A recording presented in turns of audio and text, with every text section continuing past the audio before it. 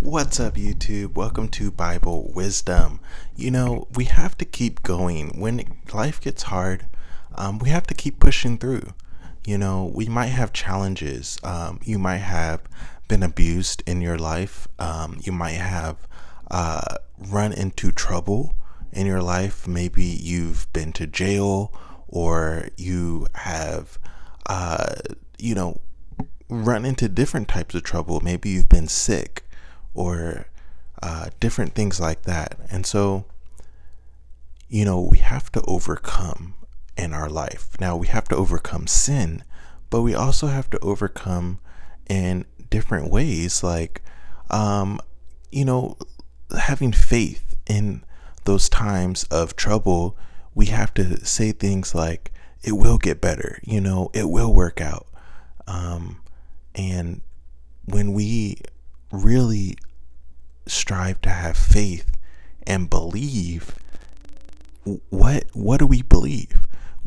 Believe good scriptures. You know, there's a great YouTube channel called um, uh, it it's a, a scripture uh, promises, and if you type in promises of God, um, and I think it's called Soak Stream, S O A K S T R E A M, Soak Stream, and uh, they basically just give the promises of God over and over, and you can actually play it while you sleep. So when you wake up in the middle of the night, and in between falling back to sleep, you can listen to it, uh, and you can play it throughout while you're sleeping. But you can also use it during the day. Uh, but anyway, you know, we believe the promises of God. You know um, that no weapon formed against you will prosper. That for I know the plans that I have for you, says the Lord. Another one is, I know the plans I have for you, says the Lord. Plans to prosper you and not to harm you. Plans to give you a future and a hope. You know, um, the Bible says that whoever would love life and see good days, let him keep his tongue from evil and lips from deceitful speech. Let him turn away from evil and do good and seek peace and work to maintain it.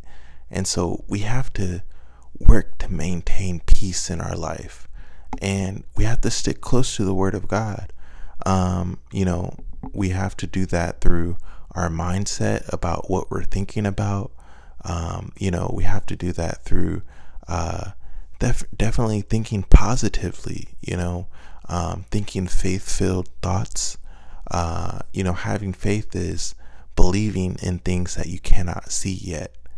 And so, you know, sometimes God is testing us. You know, He's testing us to see um, what we have in our situation. What meaning, what kind of uh, strength do we have? And He's also uh, helping us to know how we need to rely on God.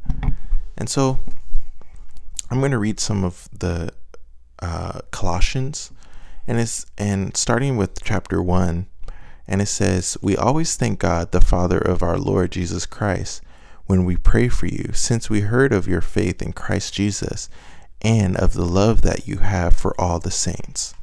So one thing you need to remember is have love for all Christians. You know, um, of course, have love for unbelievers, but having love for all Christians, we need to remember that. You know, um, we need to remember forgive those people that are hurting us, you know, and pray about the situation too. Don't forget to pray about it. Let's continue. Because of the hope laid up for you in heaven. So that's another thing is that remembering when you're going through tough times, remember the hope that you have in heaven, you know, and I am sure you think about that every now and again is that you know, God is promising us such a great life in heaven. You know, He promises to take away our pain and suffering, and He promises us joy and peace and a great environment and uh, just a new life. So we remember that we have a hope laid up for us in heaven. And so I think that's an important thing to do is to have hope in times of despair and trouble you know, and of course, remember to get wisdom, you know, read some books about it. Or I prefer audiobooks, you know, uh, get audiobooks about certain things. And of course, I don't read a whole about a bunch of audiobooks, but I try to stay up on my game of, you know, getting into audiobooks more than what I have in the past. And uh, anyway, of this you have heard before in the word of truth, the gospel, which has come to you, as indeed in the whole world it is bearing fruit and increasing. And that's what we need to remember to do is to bear fruit. And how do we do that? Through the gospel. You know, um, the gospel is going to have us bearing fruit. What is the gospel? The gospel is, you know, that Jesus came to this earth. He uh, lived and did miracles, and then he died on our behalf and then he was raised to life for our justification. And so that we can have a better life. And he gave us eternal life. And so anyway as it is also does among you since the day you heard it and understood the grace of god in truth just as you learned in epaphras our beloved fellow servant he is a faithful minister of christ on your behalf and has made known to us your love in the Spirit. So we need to remember to be faithful. You know, that's one. Another thing is to remember to be faithful to God. You know, um, sometimes we go through a hard time and we feel like, oh, I want to give up on God, or oh, I just want to go back to the way that I used to live. I, I want to take that drink, you know. And for me, you know, I have to remind myself of what am I working towards? You know, what does God want me to do? And how is that lifestyle really benefiting me? Am I getting to the where I need to go? Or is it just, you know, going to cause me more trouble than good? And the answer is yes, it's going to cause me more trouble than good. Yes, I have to stick to what I believe in. And so, um, he is, he is a faithful minister of Christ on your behalf and has made known to us your love in the Spirit. And so from that day we heard, we have not ceased to pray for you and asking that you may be filled with the knowledge of his will and all spiritual wisdom and understanding. So you can read Colossians. Again, that was Colossians 1. I read about, I, I would say, nine verses or so. I didn't really keep track.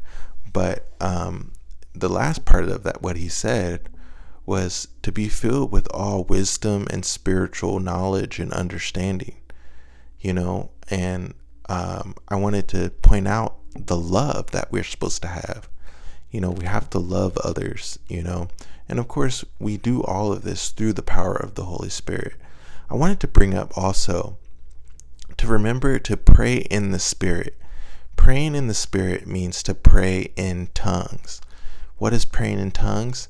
It's using an unknown language to speak to God. And what happens is, even though we don't know what we're saying, our spirit prays on our behalf, and our spirit, meaning our inner man, speaks to God and prays on our behalf. And so it's important to pray in the Spirit.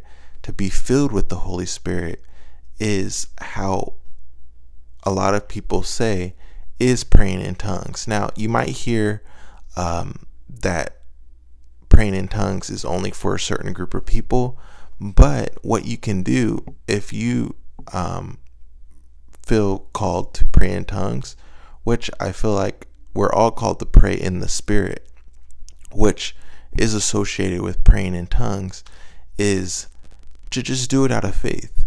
You know, instead of being worried about what am I saying what, how does this sound? I, f- I feel silly.